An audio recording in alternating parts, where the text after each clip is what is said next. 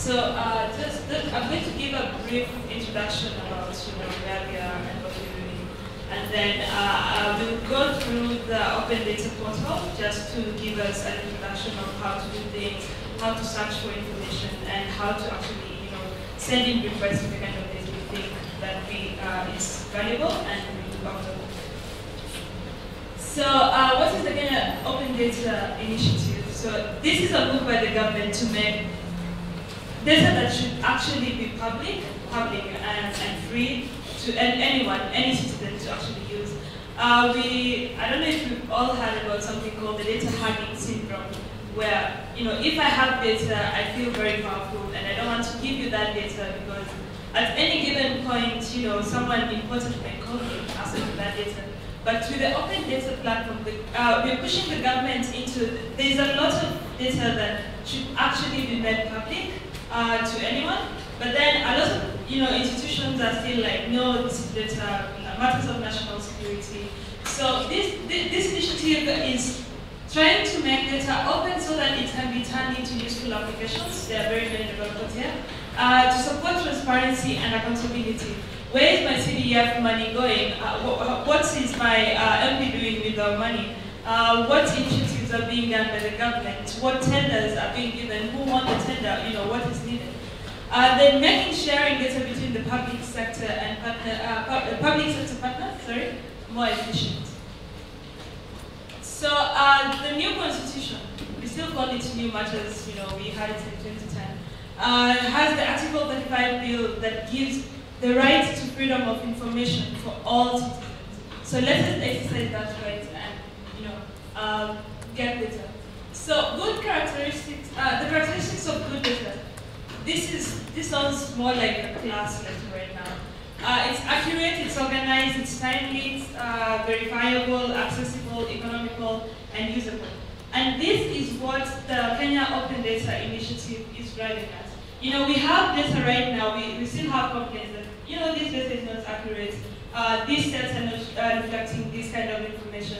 But this is raw data that we get from the institutions. So we are working really hard at trying to make the data we have you know, uh, turn into these characteristics so that it's good and usable data. Uh, sorry about that.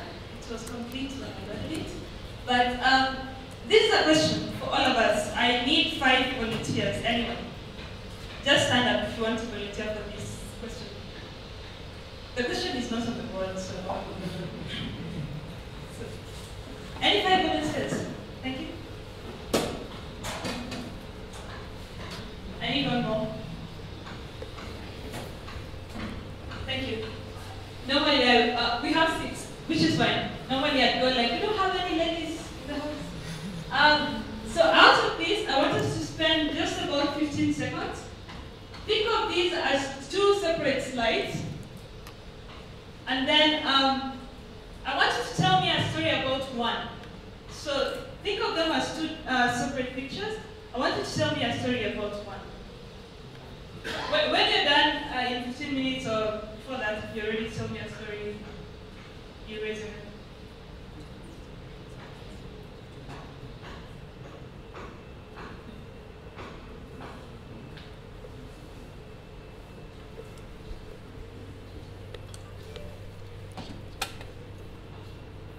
I think 15 seconds are done.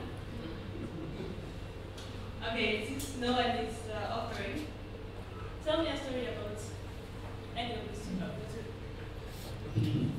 My story, I can see from there, there is a real ground in East Africa. Which story is telling the first one? First. First. Next.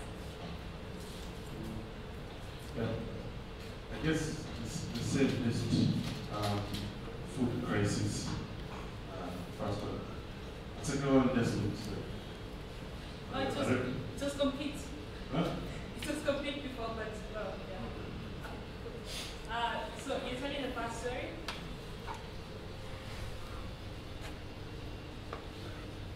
Uh, the drought is forcing the elderly to get back into the workforce. This one second. Thank you.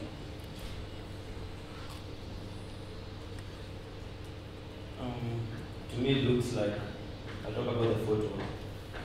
It's um, symbolic in a way, and it shows that um, the older generation have really been affected by the drought.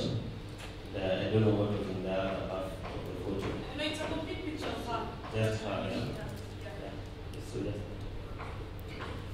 Uh, looking at the photo, I'm seeing a story of poverty, just by the way the woman is dressed and the background, I'm imagining that is a home, a house.